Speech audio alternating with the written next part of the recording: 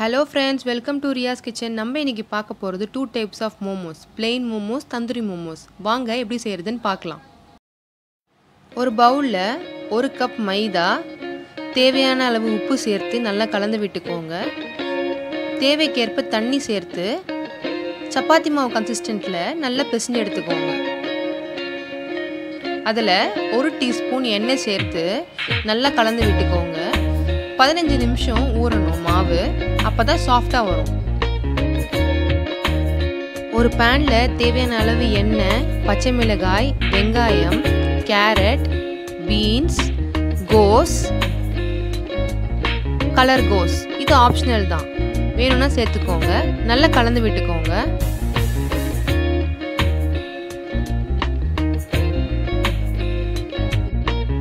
தேவையான அளவு உப்பு சேர்த்துக்கோங்க.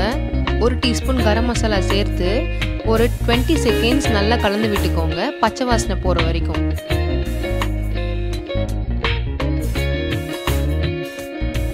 காய் பாதி வந்ததுக்கு அப்புறமா அரை டீஸ்பூன் சோயா சாஸ் ஒரு டீஸ்பூன் டொமேட்டோ சாஸ் ரெண்டுலேருந்து மூணு சொட்டு வினிகர் ஆட் பண்ணிக்கோங்க.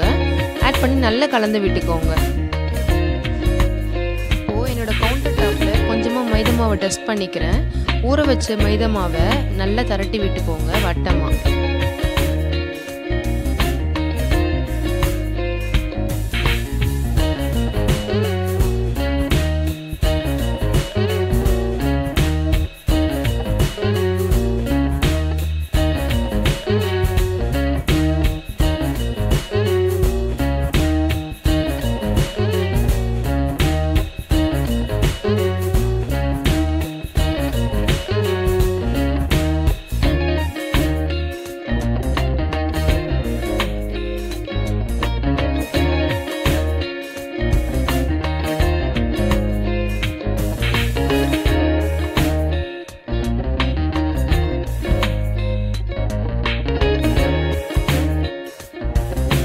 இந்த அளவுக்கு திக்னஸ் இருக்கணும்.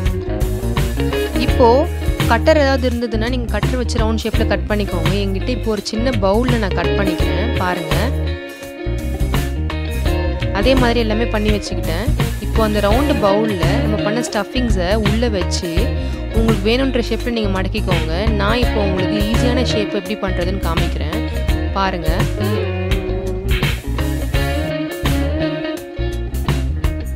அவ்வளவே தான் ஃப்ரெண்ட்ஸ் பாருங்கள் எவ்வளோ ஈஸியாக இருக்குது இந்த ஷேப்பு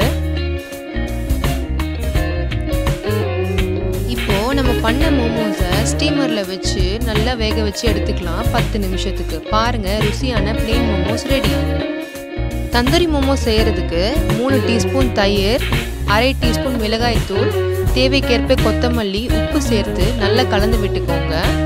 நான் ஆல்ரெடி வேறு ஷேப்பில் மோமோஸ் வேக வச்சு எடுத்திருக்கேன். அதை நான் இப்போ சேர்த்துக்கிறேன். மசாலா எல்லாம் அந்த மோமோஸ்குள்ளே ஊறுற மாதிரி நல்லா கலந்து விட்டுக்கோங்க. ஒரு பேனில் தேவையான அளவுக்கு எண்ணெய் சேர்த்து அரை மணி நேரம் ஊற வச்ச மோமோஸை பொறிச்சு எடுத்துக்கோங்க.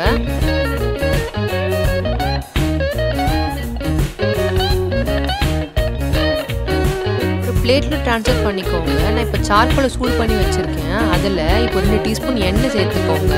புகை வரும்போது மூடி வச்சு இறக்குனா ருசியான தந்தூரி மோமோஸ் ரெடி